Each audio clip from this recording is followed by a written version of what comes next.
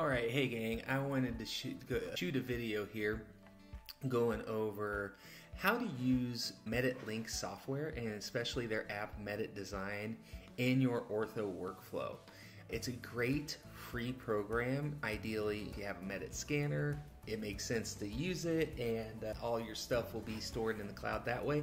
But you actually don't have to have a Medit scanner to use this software. So go to meditlink.com download the software, check it out for yourself because I'm going to show how I'm going to use the MeditLink software and import scans on that from a different scanner. So as long as it's STLs, you're good. I am now working moonlighting at a practice that I'm taking over their ortho for them and they use PrimeScan scanners.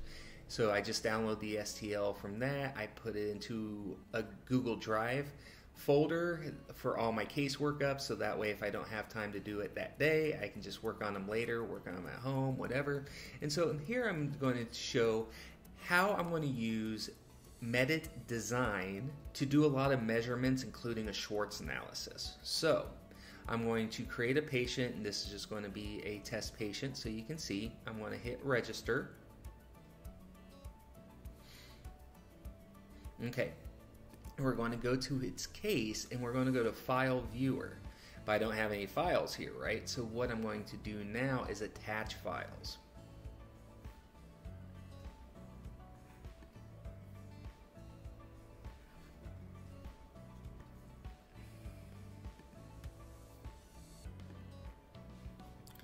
Want to attach both of those files and there they go. Voila. So now you have in the cloud you have your files. So pretty cool way to organize things. Then over here on the app box, you can choose all these different apps to download. What I'm going to be using right here is the Medit design right here. Okay, so I'm going to go back to the case box and then I am going to click Medit design.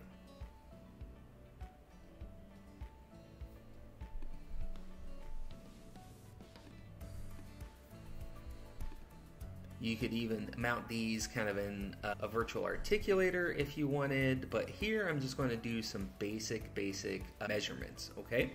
So one of the first things that I like to measure is intermolar width, because if you go to a lot of previous studies, especially by Jim McNamara, we want that intermolar width to be at least 35 millimeters or more. And so I usually like for that to be hit by 12 to 14 years age for girls and 14 to 16 for boys. Okay, so by that time they should be at 35 millimeters intermolar width. If not, that's a sign that hey, something's going on here. So now I'm going to turn off the lower model. I'm going to work off the upper model. And the very first thing I'm going to do is measure the intermolar width. I'm zooming in here. So I'm going to measure from here to here, the innermost portions right along the gum line here. So what I'm going to do right here is go to measurement mode. I'm going to hit collect between two points, just like that. And then I'm going to measure from here to there. And so we are at 35.5 millimeters. So that's great. That means we're at a baseline. I could still probably develop the arch a little bit more, quote, expand or laterally develop the arch a little bit more, but we don't need really any auxiliaries for further expansion. So that's the big thing I'm looking at there. Next, while I'm here, I like to go ahead and screen for possible tooth size discrepancies. So first things I'm going to do is I'm going to measure and I'm working on a trackpad. This I'm a little bit quicker if I'm on a mouse, but that's all right. So I'm going to measure my lengths of my incisors. This is going to help me plan if I'm using brackets. It's going to help me plan for uh, where I want to set the bracket heights. But then also this is going to help me check for any tooth size discrepancies, okay? So we're at 7.5 millimeters average there, 9.5 millimeters tall, average there, pretty normal stuff. Now, let's take a look at the width. So now I'm going to measure the widest part here and here. If you notice, these incisors are a little bit shovel shaped. So we may, for aesthetics, want to do some bonding at the end of treatment.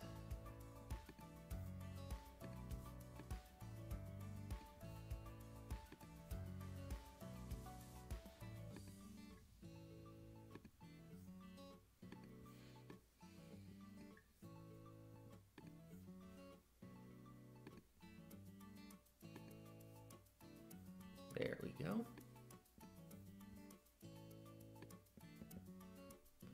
And you can move these around so they're not over the top of each other here.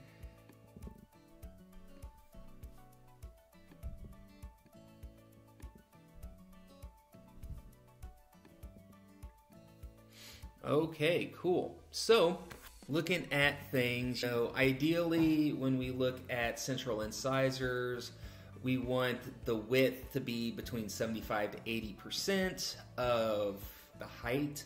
So if I just calculate that here, 9.5 times 0.75, we want it to be at least 7 millimeters wide. Here we're well past that, we're at 8, so we're looking good there. Now for laterals, you want it to be about 65 to 70% of the width. So if we take 7.5 times 0.7, be at least five and a quarter, so we're at six, so we're looking good there. And then lastly, we want our laterals to be about 66 to 75%, so two thirds to three quarters the width of the centrals. So if I take a look at the width of the centrals, we want them to be at least five millimeter, uh, 5.3 millimeters wide, which we are. So I'm not really too worried about any tooth size discrepancy right now. Really, it'd just be to maybe just give it a little bit more of a pleasing shape. But very quickly, like when I'm not annotating a video, this is, I go a lot quicker than this. So very quickly, I can get some great data. Well, now let's kick this up a notch here. And let's say on average we have 6.1 millimeters for the laterals and we'll say on average we'll say on average 8.2 so 6.1 8.2 so together our width across here I'm going to round up to 30 okay so using the Schwartz analysis what you do is you uh, measure the mesial-distal widths of the upper incisors, both central and lateral, and you combine those together. And then from there, that gives you how much your premolar and molar regions should be. So, the premolar region, for example, on a regular uh, width face, it should be plus 7, and in the molar region, it should be plus 14. For a wider face, or if you want a little bit more expansion, you'd want 8 millimeters in the uh, premolar region and you'd want 16 millimeters in the molar region. So let's go ahead and do that real quick. So how this Schwartz analysis works, I want to go back to measurements. I'm going to measure this distal ridge or this distal, um, I should say, uh, central uh, distal groove here is what I'm trying to say. I want to measure from this distal groove to distal groove of these first molars. And so here we're at 36, where we wanted to be at about 37. So that's pretty good. We'll get some development with just uh, broadening the arches and uprighting those teeth a bit since they're rolled in. So that's not a problem. And then kind of in this central groove here, central groove here, we want it to be about 44 to 46, somewhere in there. And we're at 47 so we're looking pretty good there. So that's telling me that we don't really have any big width issues going on. Now I'm going to turn this one off. I'm going to turn the bottom one on and let's measure those as well. So here we want to be measuring from about this mesial buccal embrasure area here and we want that to be about the same as that upper. So that SI plus 7 or 8, so we'd want to be about 37, 38, which we are here. And then if we check that mesial buccal cusp, because we want that into that central groove right there. So again, we want it to be between 44 and 46. Could be more, that's okay too. And here we're at 47. So this all tells me very quickly, and I've done a great up, very thorough to check for tooth size discrepancies and all that stuff intermolar width, Schwartz analysis.